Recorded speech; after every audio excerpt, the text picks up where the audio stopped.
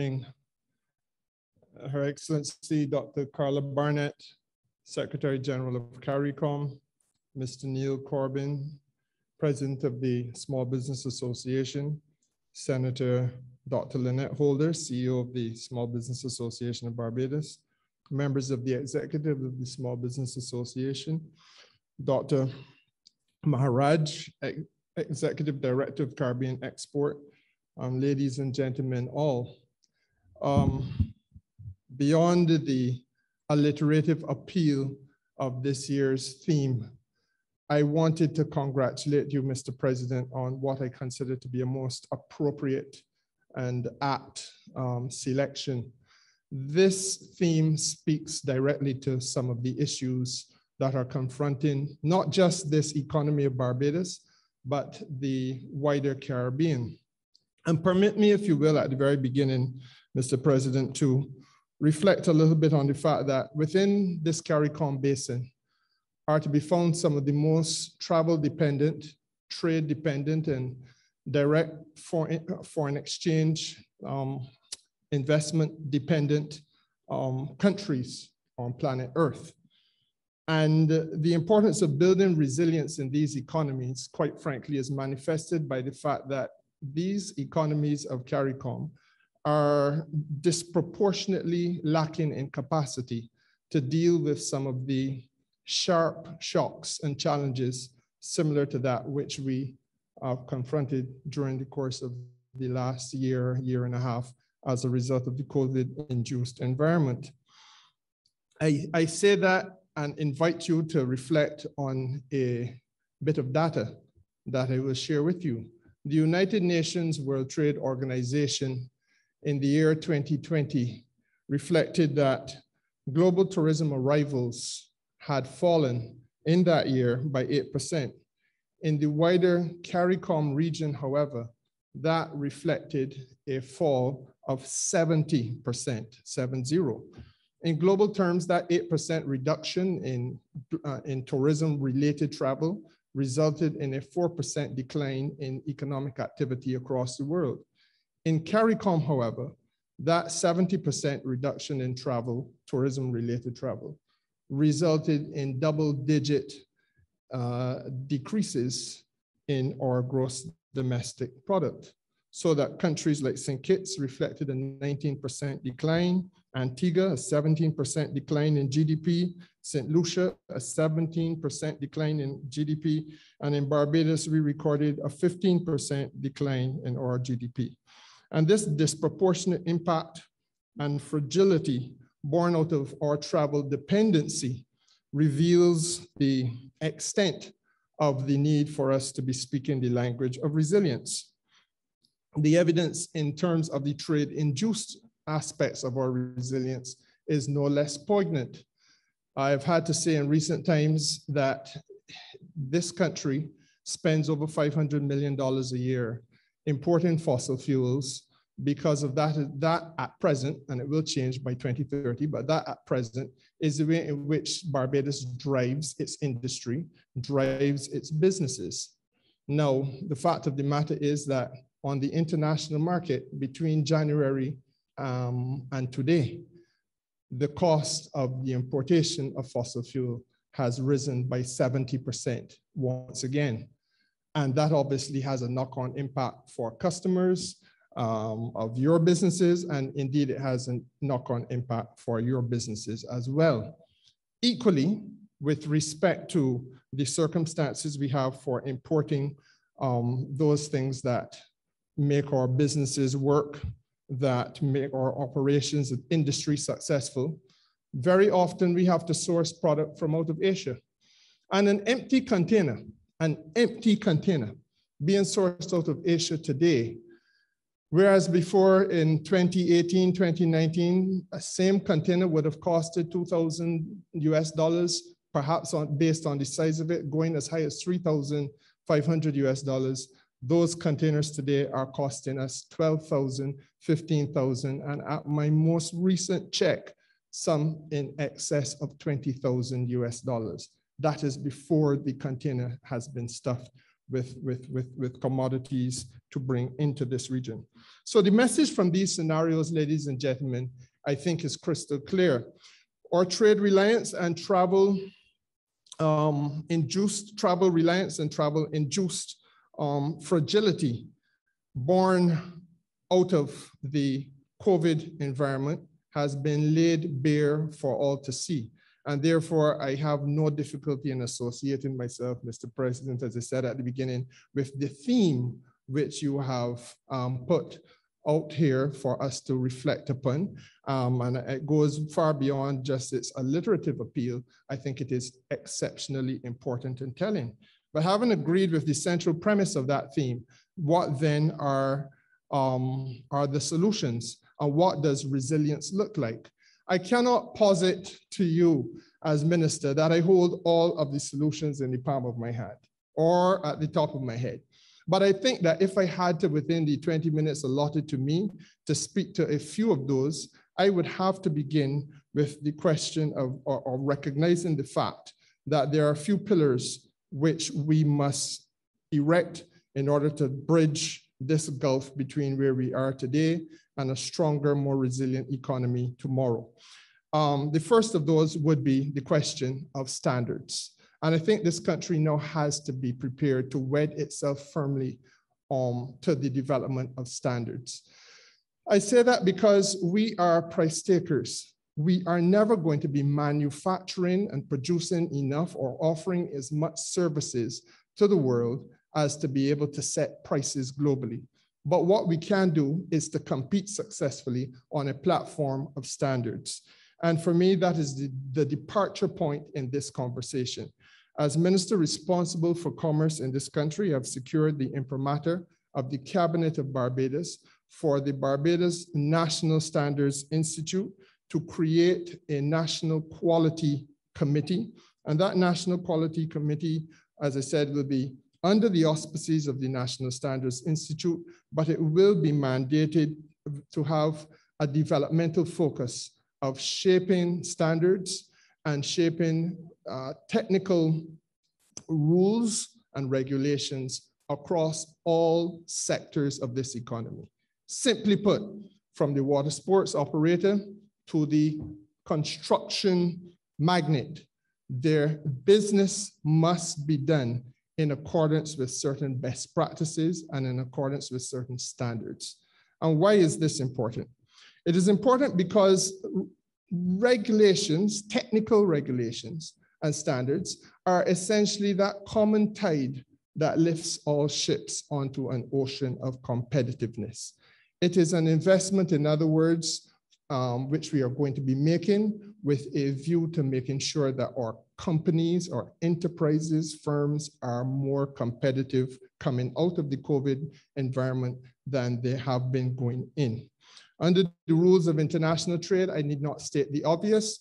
It is impossible to secure market access unless you are able to demonstrate that the goods that you are selling into my marketplace have been made in accordance with certain regulations and certain standards.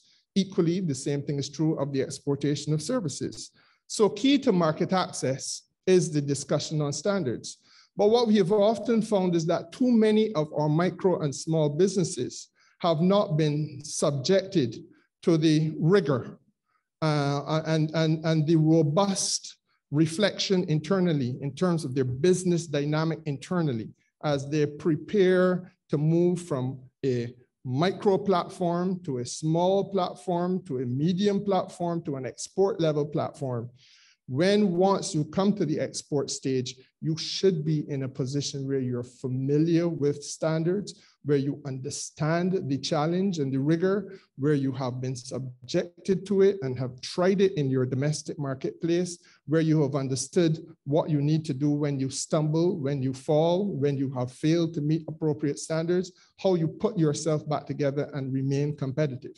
For it to begin, as it now does far too often, at the stage of an export level is for us to put pitfalls in the way of people who are now entering that export stage in circumstances where they're utterly and entirely unprepared to deal with it. And we feel that that is something that has to be corrected as we try to shape a more developmental path for our businesses. Equally, reaching an export level platform cannot, however, any longer be treated as a matter of serendipity. And my ministry feels that the Barbados National Standards Institute must be that vehicle that now partners with micro and small businesses in Barbados on a day by day basis so as to ensure that there is born out of that partnership a better understanding of how you, you traverse and navigate the, the, the economic landscape with a view to avoiding pitfalls and making yourself more competitive. I feel that I must say this as I close on the question of standards. When I became minister, I was startled to become aware of the fact that the companies and the firms in Barbados, which could constitute and properly be called small and micro businesses, may have numbered around 9,000 or so. But the reality is that in terms of clientele of the Barbados National Standards Institute, in terms of being partners with the National Standards Institute and having a relationship, a working relationship with this critical developmental institute in the country, institution in the country, there may have been fewer than 65 who were in that capacity. And that simply cannot be good enough. And the fact that that is the, accurate statistic tells the tale of the work that we need to do in this aspect of making ourselves more reliant. Now, ladies and gentlemen, I perhaps have to go against a little bit of advice that I was given because it was pointed out to me that minister, you know, the, the financial community in part is part of the sponsorship of this State of the Sector Conference. And maybe there's some things that you can't say. And I hasten to say, Madam CEO and Mr. President, that I will not trespass on goodwill and good behavior. But there are some things about which it is impossible to remain silent if we're going to have a serious conversation about resilience. And one of those areas really is the conversation that I think we have to have in Barbados on the, the of access to credit credit. Constrained access to credit credit in Barbados is in my judgment one of the issues which, which lead to economic fragility, especially in this micro and small business sector. A conversation about resilience, in my judgment, cannot seriously and in good faith take place in the absence of a focus on credit, because credit is an indispensable aspect of economic growth, not only in this country, but across the world, and it is an indispensable aspect of private sector development. Having said that, I believe genuinely that this is not a, a, a, a, an area that one has to be overly guarded in discussing because Barbados had a Jobs and Investment Committee um, forum last year when this issue was put squarely before the country. But if we are going to be faithful to truth, then we have to look each other in the eye and say that progress since then has not been satisfactory. Um, it is in this regard that I believe that the unavailability of assets, that is the excuse that I am given, that there's an unavailability of assets. I don't think that that holds water. Um, our problem, in my judgment, is that there has been an inability of the legal framework of Barbados, and yes, a lack of administrative will in some circumstances to facilitate those assets that we do have. And I take fortitude in this position from reflecting on a World Bank report, which looked at the circumstances confronting developing countries around the world, not just this region, but globally. And that report was able to reflect that as much as 80% of the capital stock of small and micro businesses globally is held in immovable, um, sorry, immovable assets, those things that can be moved around. And that only 20% of the capital stock globally for micro and small enterprise is really in bricks and mortar and real estate. Now, it tells me therefore that globally there, there has been an understanding that this is an issue And it is self-evident as a proposition for me that this situation has to be rectified. My ministry has been working with Impact Justice and the University of the West Indies at Cave Hill to develop a movable assets or collateral registry, um, which would allow medium, small, and micro enterprises to register um, on a web-based technological platform, register charges and collateral, which are offered by borrowers to secure credit facilities, which are offered by lenders. But to get to that point, obviously, is a heroic undertaking.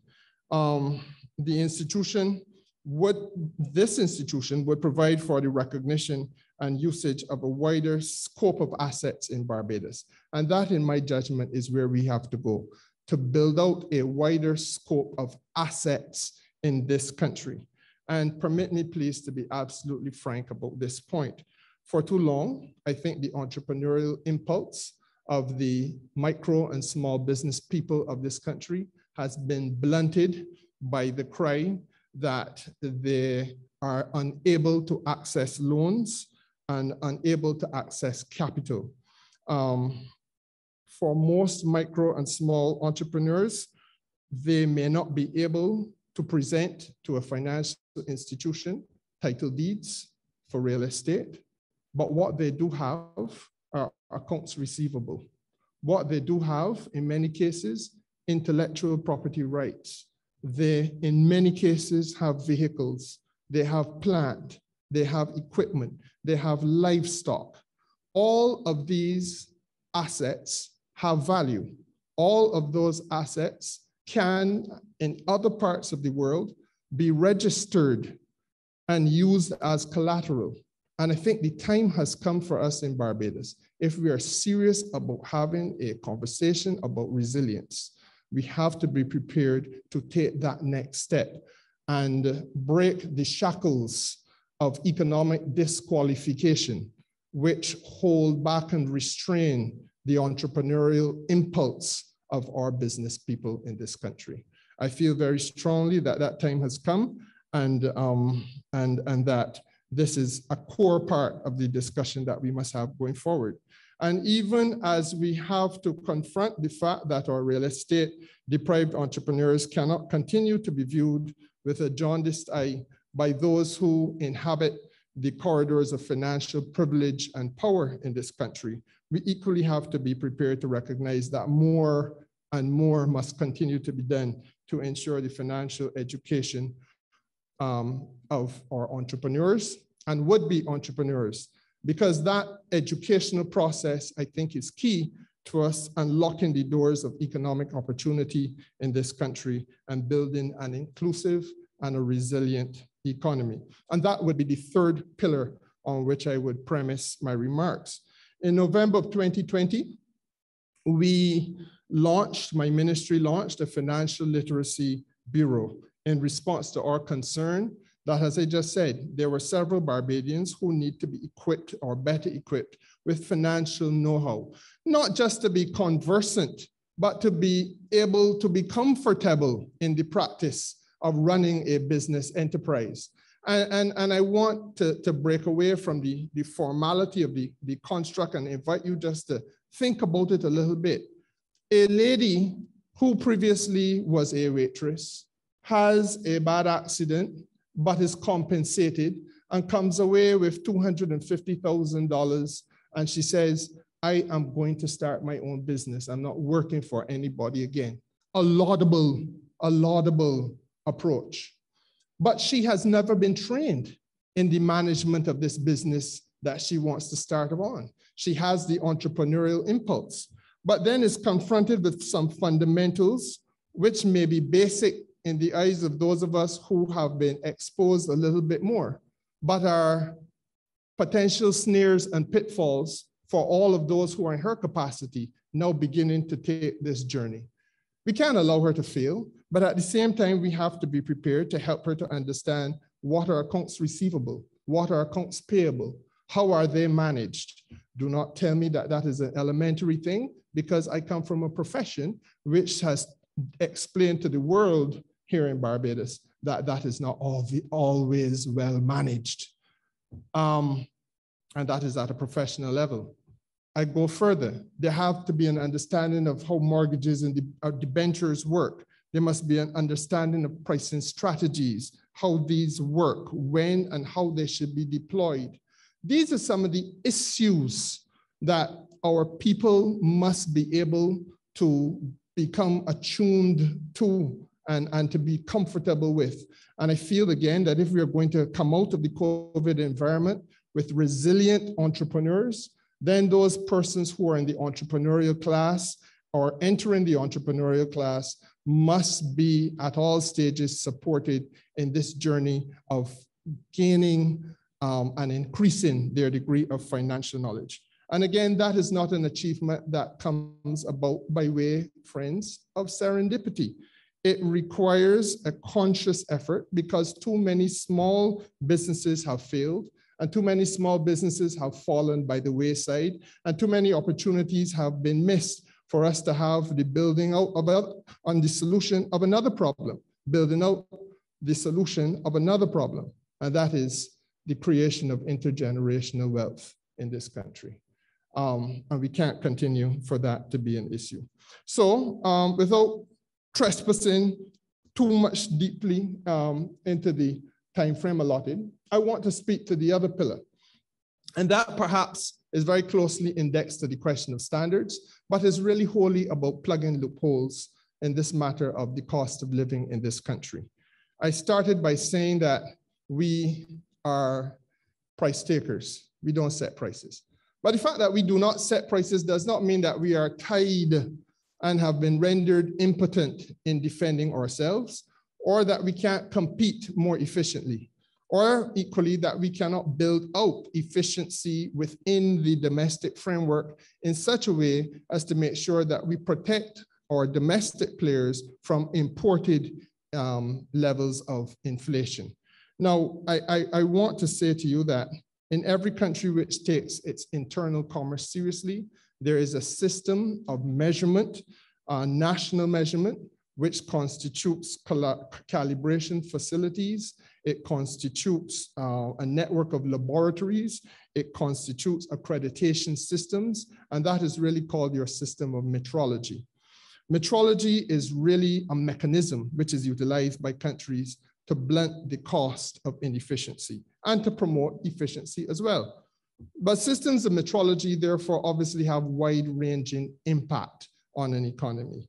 And, and, this is nothing new. From as far back as perhaps 2,900, I can't remember the history, or 3000 BC, the, the, the first system of measurement was created that's known to mankind, which was the cubit, and it was the length of Pharaoh's arm plus the span of his palm.